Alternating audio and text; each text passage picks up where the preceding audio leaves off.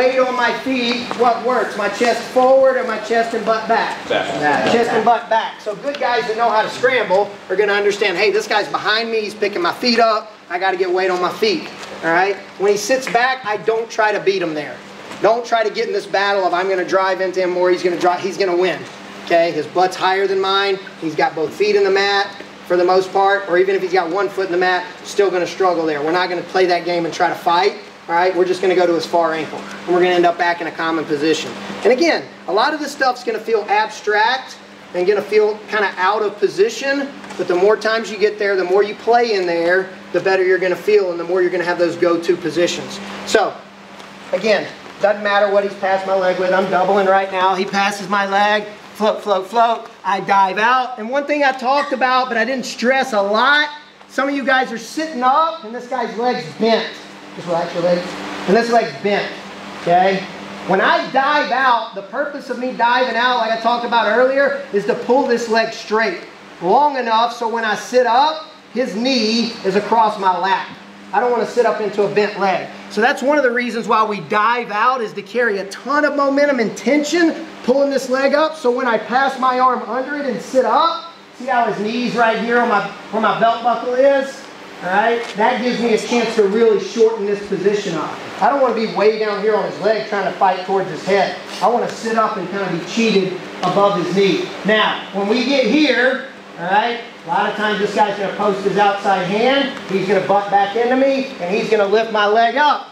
Because he understands that he's got to get feet in the mat and my foot in the air. Now, if I get here, probably going to get taken down.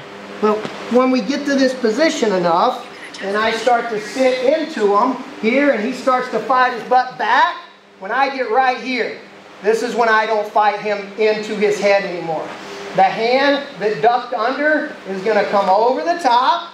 I'm going to find his far ankle, and then I'm going to take my knee of the free leg and just attack across his body. Right here. Back to this position. Okay? I don't keep fighting into that guy in a position that I'm probably not going to win. So the minute I sit up and he's fighting back into me, I just go over the top to the far ankle and this knee comes across, blocks his knee, and I push back to my leg pass finish. All right? And when we get to far ankle scrambling sequences tomorrow, you'll start threading into a lot more of this type pos position stuff and you'll realize far ankle is the way to go. I can get to his far ankle, I can probably stop him from, from taking me down ever if I'm really committed to it. You watch a lot of freestyle European world level wrestling, they can't roll across their backs. You watch those guys wrestle from far ankle, you'll see some amazing stuff there. All right? So he passes, I duck. He's passing, I dive and duck. Right when I start to sit up, that butt starts to come back. Right here is when I make the decision to stop trying to beat him here. Wave over the top, far ankle, okay? Free leg, knee comes all, turn 90 degrees. When I wave over the top, capture his far ankle, this knee threads across.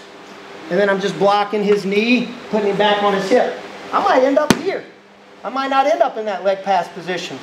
But what are the principles we're working for? Step one is what? What's the step, first step of beating, winning a scramble? Two feet in the mat. Feet in the mat. All right? Second, we start talking about height, right? I'm in a pretty good spot. I got his foot up in the air. I got weight towards his head. Just like if I shot a single leg and split the middle. We end up here all the time. But I don't stay in here trapped. Okay? I get tall, get across his body. Then your Turks are here and all that other stuff. So again, we're scrambling a, real, a little bit, but we're getting back to positions you guys are familiar with. So as I dive and duck up under that leg and he starts sitting back, over the top far ankle, knee blocks across, put him back on his hip. Again, put him in an unathletic position, which is his hip. Then we can wrestle there. Anybody need to see it again? One more time. All right? So, double leg, leg pass, dive and duck. He sits up right here. Okay? All this stuff right here that you already know. We're just getting to a position to be able to use it. Slow as you need to. Go!